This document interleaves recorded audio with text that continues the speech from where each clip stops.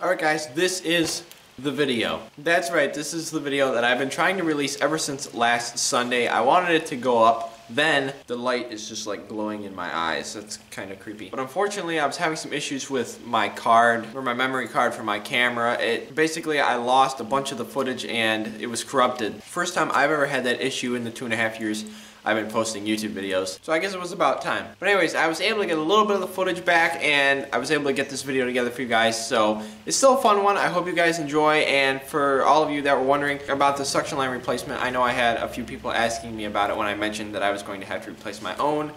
That's going to be covered in this video, so this is for you. Even though I did lose some of the footage with Brian when we were having a good time down with him, I think it's still a fun video, so I hope you guys enjoy. And without further ado, let's get it started.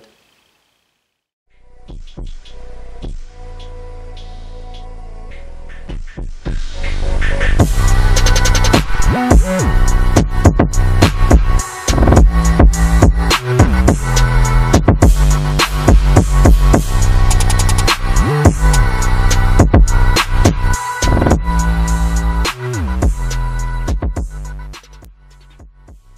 guys, welcome back for a quick little channel CGE video. Hopefully this one will actually be quick and little, but today I'm going to be trying to replace the suction line and getting the AC figured out on my PT Cruiser GT. If you didn't watch the last video, I think it was one of the last videos I put up about uh, working on this car. One of the things I was trying to figure out was the AC system. If you didn't watch that video, you should go check it out. I told the whole story behind my AC system and we went through and replaced one of the lines and tried to figure things out. But when we went to fill the system with refrigerant, we found out that there was another leak and it was the suction line. It's such a small leak that you can't even just visually see it. But it's definitely leaking and it seems to be the last thing that's leaking. So I ordered a new one, it just came in mail, so I'm gonna work on replacing that today. Here's my new one as you just saw. I ordered this from some random place on Amazon, but it looks to be exactly what we need to go down in there. So, job's a little bit of a pain. It's easy enough to, of course, unbolt this end of it, but as you can see, this suction line right here runs down behind the power steering reservoir right here. It goes behind there. You can not actually see it. Let's see if I can get this to work. Well, what do you know, a dead flashlight. Let's try to shine my phone light down in here. You can see the line right there. There it is. And then straight down to the compressor, which is way down there. Bolt for this one you can't see from this point of view, it's right behind that. But you can get to that bolt with a bunch of extensions. I think it's a 10 millimeter. That's what I have to undo, and that's going to be the one that's a pain to take out and put back in. But in order to make it happen, in the first place, I'm going to remove the grill and this upper radiator support, which is really easy to do. There's one, two, three, four here on the grill, and then I think there's six on the radiator support. I've had to do it a couple times before, and it's honestly not a big deal. Hopefully that'll be enough to be able to get a bunch of extensions down in there and get that thing loosened up. We shall see.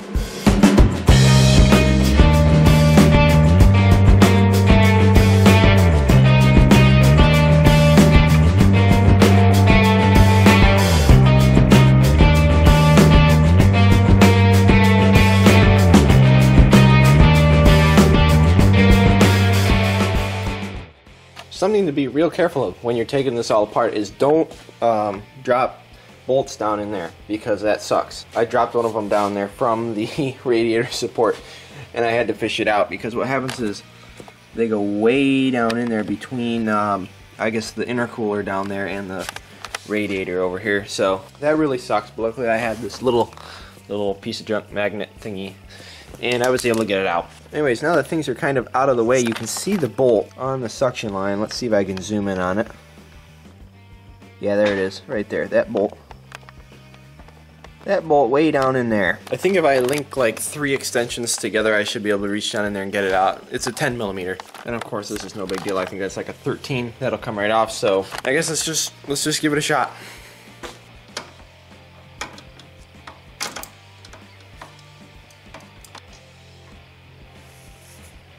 Got him. Also, it's probably not a bad idea to unbolt the hood latch when you take this thing off so that you can get it off the side and not accidentally scratch your paint. Obviously, as you can see, my paint is absolute crap already, so I'm not too worried about it. This car's gonna get resprayed someday anyways, but anyways, that bolt actually came out pretty easily, so this should pop right up. Now I just gotta remove that and we should be able to pull the line out.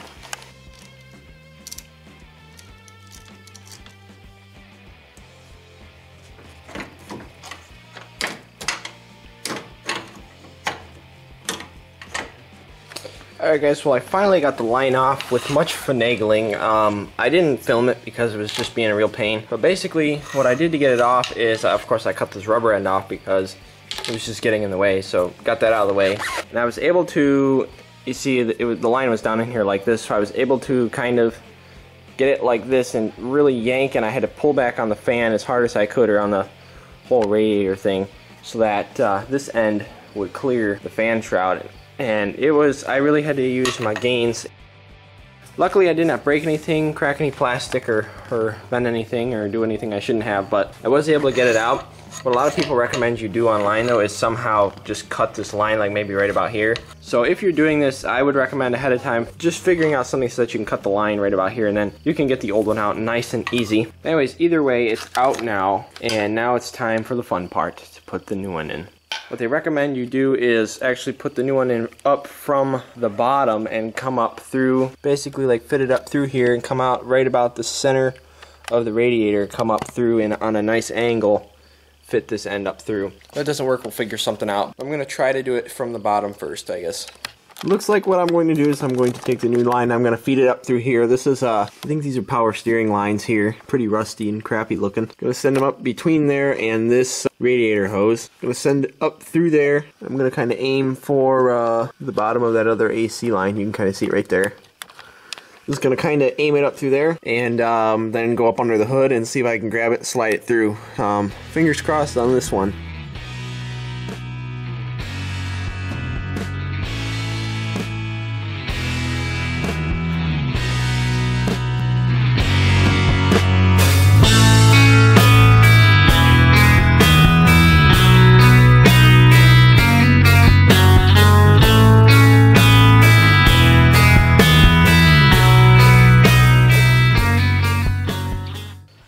I finally got it up through. Took a little bit of uh, twisting, a little bit of finagling, a lot of wiggling and stuff like that, but I got it through. It's really impossible for me to show you exactly how to get it through and exactly how I did it. Just kind of got to feel it out. But it's through now, so all it needs to do is get in position and bolt it down. If there's any uh, little word of advice I could give on getting that thing in, I'll, all I can say really is just don't be afraid to uh, use a little bit of elbow grease. Use a little bit of your gains on it. You know, of course, be careful that you're not going to break anything like uh, crack plastic on the fan shroud or rip any wires or anything like that down in there, but at the same time, just you kind of gotta mm, a little bit. You know, this isn't a uh, SEMA show car after all, so so now I guess I just have to bolt it down, and then we can think about drawing a vacuum on the system again and charging it up, see if it works.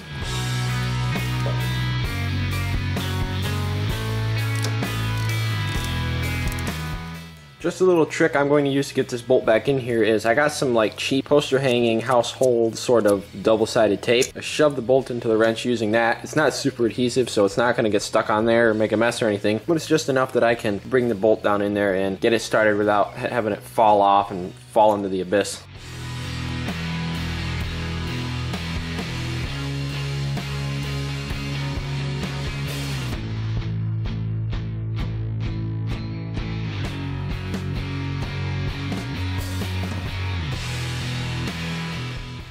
Tomorrow. Alright, ladies and gentlemen, it's a beautiful day in America. It's actually really beautiful out today. It's nice and warm. I'm feeling good today. I got my caffeine in my system, and we're gonna go down and have Bry throw some refrigerant in the system and draw a vacuum on it. I got over here, well, I got my I got my sunglasses, of course. I got these from Tuner Crate. I wanna go fast! And of course I always have a water bottle with me. I'm that guy that has like three half-used uh, water bottles in his car at all times. but over here, I got, I actually got a Walmart, just plain refrigerant. This is Cool Master. It's got no uh, snake oils in it or anything crazy like that. So I'm gonna drive down there, I'm gonna throw some refrigerant in the system, and hopefully uh, the system will work, or maybe we'll find another leak or something. I really hope not, but I'm pretty sure there's no more leaks, so we'll find out today.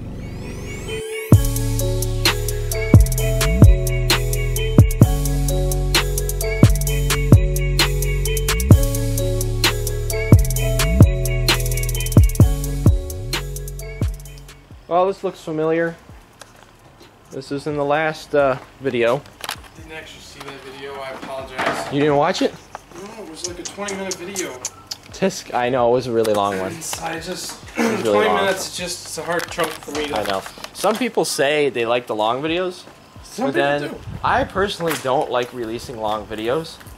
But some people are like, oh yeah, the longer the better. I like the long vlogs or whatever. So it's like, well, I don't know. What do you do, you know? So I was gonna put it in two parts, but it was just easier to release it all as a chunk at that point. So I'm like, well, you know what? I'll make some people happy.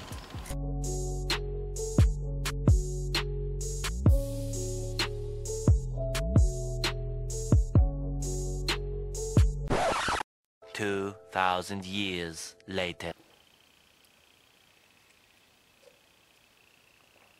Heck yeah. You know what? I'm sick of this lighting. I'm just gonna move you guys over over a little.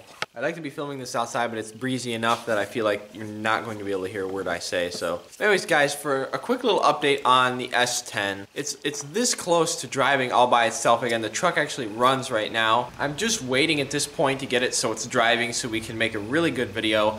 The S10, I want, I don't want to make just like filler content, filler videos with the S10. I want it to be really special because that truck is very special to me and I know it's special to this channel. It's kind of what started this channel, so I want the next video to be able to live up to that and, and how much it means to me and the channel, I guess. Real close to getting it to move, I'm just having a few more issues with the slave cylinder. Once we get that all sorted out, the truck will be driving again. And then that's just the beginning because there's going to be tons more happening in that truck. It's not going to be leaving anytime soon. It's probably never going to leave my hands. So expect a lot more S10 content very soon. So if the S10 is not driving and the new S10 video is not out by this coming Sunday, I have a really funny video to do with the PTGT I think you guys will enjoy. So either way, there's going to be a really cool video coming out this weekend. Watch for new uploads every Sunday and also be sure and smack the like button if you did enjoy this video. Also, comment down below with any questions about the suction line or just anything you would like to say. I'll be sure and try to answer anybody's questions. I know I haven't been getting to YouTube comments as quickly lately and it's kind of hard for me to get to all of them since you know the channel's been growing. I do my best to get back to everybody's questions and everybody's comments. So be sure and go drop one below. But anyways guys, thanks again for watching this quick little channel CG video. You rock. God bless and I will see you in the next one.